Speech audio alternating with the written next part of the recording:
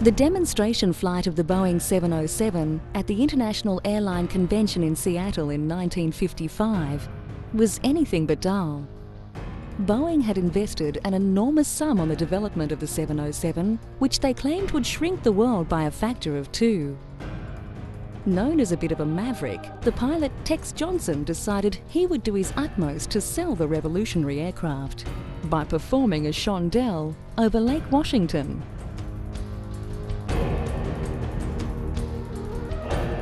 In June 2008, the Royal Australian Air Force ceased operations with the Boeing 707, 25 years after this majestic jet flew its first operational sortie. After a prestigious career in commercial air travel, the 707 has proved itself a great asset to the Australian Defence Force.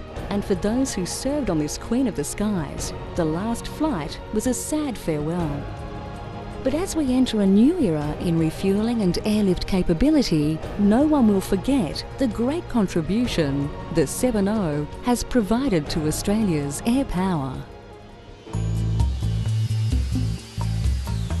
Formed in 1942 in Townsville, with four Empire flying boats, the squadron performed with great courage against the Japanese advance south during the Second World War. The squadron went on to fly a variety of types, including the Anson, Tiger Moth, Dakota and DH-84 Dragon. The aircraft behind me is serial number A20624, otherwise known as Richmond Town. It was one of the first two Boeing 707s in the Australian inventory and it will be on the 30th of June this year, the last of the Australian Air Force 707s to be retired from service. The blue tail design with the dragon in uh, large form was designed by the maintenance personnel to commemorate the passing of the 707. Dragon is in fact the call sign that the 707 uses during air refuelling operations. We're about to depart on a sortie for uh, exercise Grumpy Cobra. Grumpy Cobra is uh, designed for 3 and 77 squadrons to obtain some specific objectives. The mission that we're flying today has 10 aircraft from both Red and Blue Air coming up from Williamtown and refuelling off the tanker prior to uh, going off and executing their missions.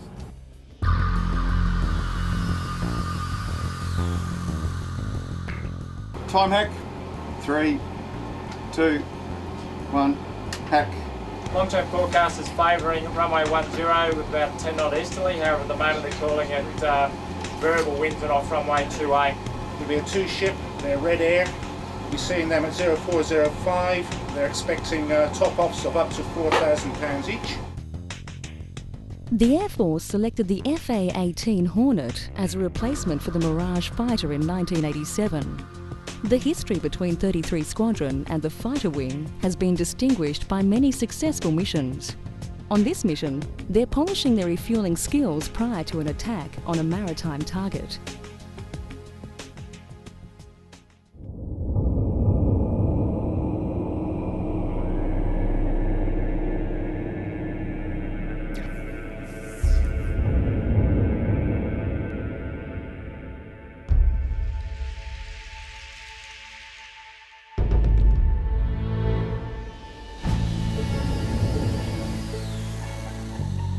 Purchased initially for the VIP role, the aircraft capability of the 707 would go on to present 33 Squadron with unique challenges throughout the 80s and 90s.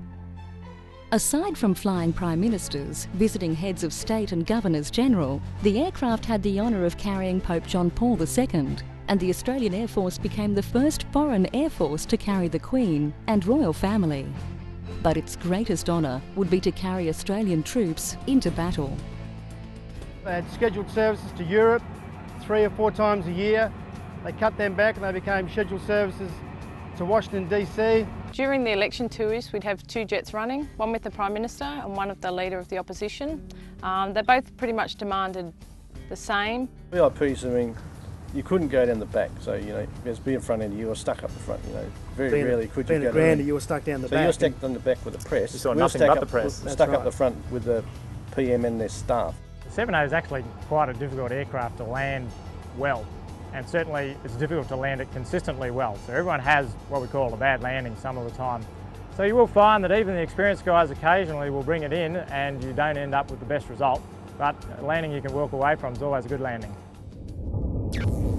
Radar 1 request connect right hose, Radar 2 request multiple dry plugs left hose. Radar 1, contact right hose. 2, you are clear multiple dry plugs left hose. In 1989, Australians found themselves stranded by the airline pilot strike, and the 707, alongside other airlift group aircraft, would take part in Operation Immune, the federal government's response to the strike. Our support during the airline pilot strike in, in the late 80s, uh, where normally in our assistance we provide to government and the civil community, our C-130s and Caribous are out there doing flood relief, famine relief, it might be those sorts of things. But in this case, as well as those aircraft, the 70 provided a, a sterling effort during that, uh, that support to bringing home, in the main, stranded Australians who are on holidays in other parts of Australia. The unions didn't, uh, didn't like us, so they considered us as strike breakers. So every time we landed at a civil airfield, they wouldn't refuel us. So every time we took off, we would, we would make sure we had enough fuel to do the actual task by landing at military bases. On the 707 we have two description roles. Load master, basically we look after all the uh, load handling, administration and management of the aircraft. Basically any cargo, passenger handling that goes on and off the jet. And then we have a dual role that we've just done today, which is basically air-to-air -air refueling.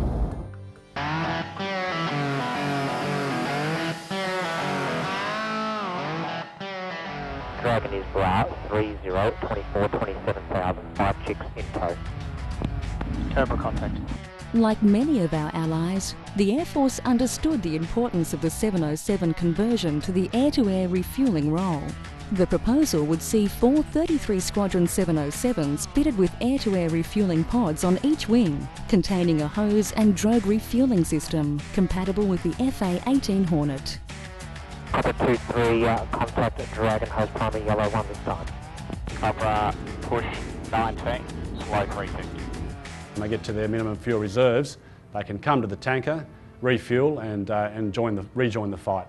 So I guess from the enemy's perspective, it can appear that, uh, that there are a lot more fighters out there than, than really exist, hence the term force multiplier. It's a notoriously difficult aircraft to tank behind. The hoses are short, uh, they're close to the, uh, to the aircraft. Um, they're also uh, close to the, uh, the, the, jet wash and the wingtip vortices, and that means it's a difficult job for the fighter pilots, and sometimes they get it wrong.